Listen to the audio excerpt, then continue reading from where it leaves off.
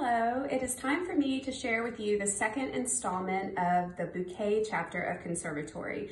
This collection is following um, Courtney Cerruti's Flower Market, which is in stores now. Super exciting. I'm already seeing some beautiful things with that fabric.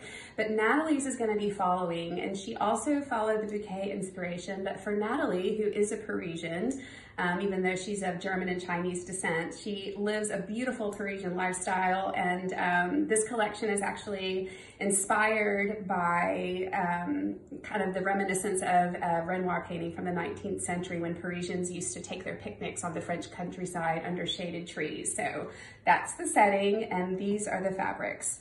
Um, again, the collection is called Sunday in the Country. And what should I start with? I'll start with this very sweet um, floral. This one is called Early Morning. And I think the inspiration behind this just sort of reminds me of, you know, a little bouquet of flowers on your bedside table. There's even a little tiny tag on this bouquet here that says for you. Look how sweet that is. Beautiful butterflies. Those stripes in the background almost remind me of mattress ticking. And look at this little vase here that looks like an owl face. So beautiful little details. Um, let me show you the other colorway. There's this pretty blue colorway that really reminds me more of mattress ticking.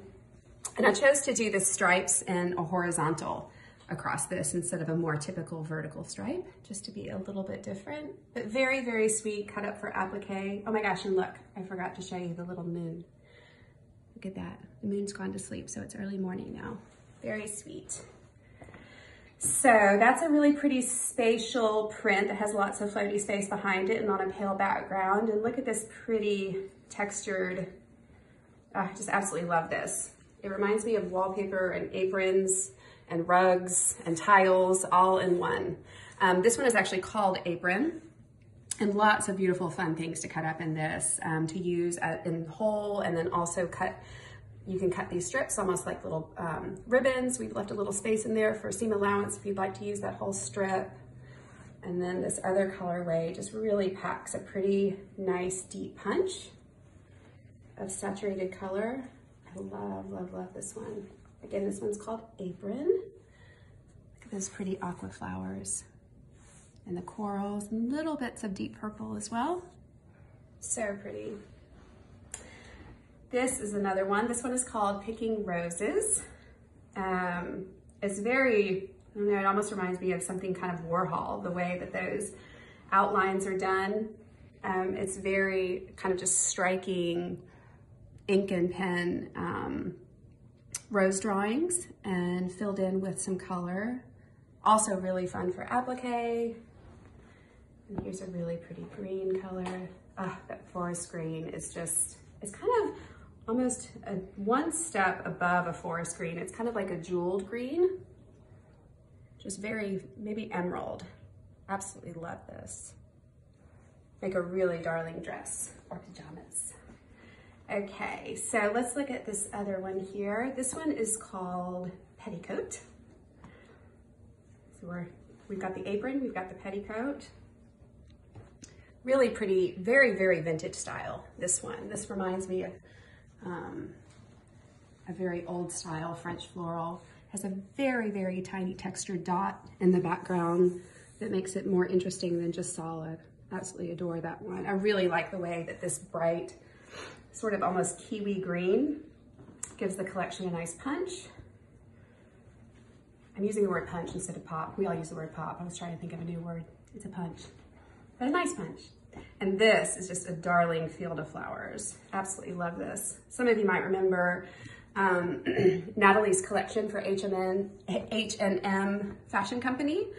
Um, my daughter actually has a pair of shorts because she did a clothing line for children out of this print. And it's just such a great traditional but colorful style um, field of florals. It's just such a quality print. This one is called Handkerchief. And I think like the really perfect companion to handkerchief is crown. Excuse me. How fun is that? So beautiful, very typical painterly, quintessential florals from Nathalie, but they're arranged in these beautiful crown circular patterns. such pretty pairs between these two. Absolutely love that. So really fun for fussy cutting those crowns out, putting in the center of blocks. So many pretty little striped floral details, dots. Absolutely love that one. And the showstopper, if you ask me, is this incredible panel. It's called Give Me a Kiss. And it features some of the same elements of design from the florals. You can see the crown over here, but much larger. And look at these adorable little kitties. How many cats do we have? We have, I believe, six different kitties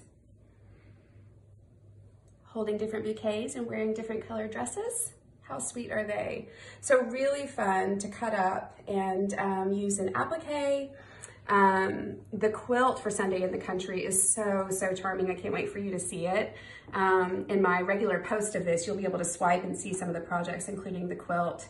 Um, we have little kitty cats inside houses and um, really utilize this um, in a special way for block making. Um, we also have lots of plans to do um, some embroidery. You can take some embroidery floss or some crewel wool and go right over the top of these to stitch out um, a design for pillows. So lots, lots of fun project ideas, um, including those little lovebirds that are giving each other a kiss. So that's Sunday in the country.